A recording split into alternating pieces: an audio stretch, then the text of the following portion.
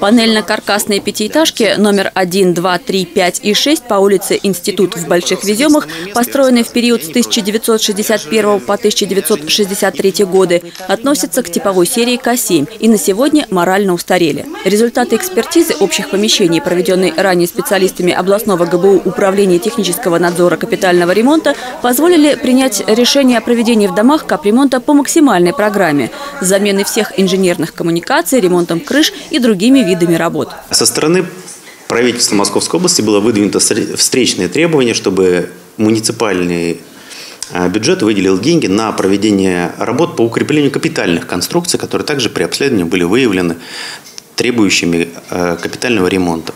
В муниципалитете нашли возможные способы усиления всех плит перекрытий, как горизонтальных, так и вертикальных конструкций. Смысл в чем?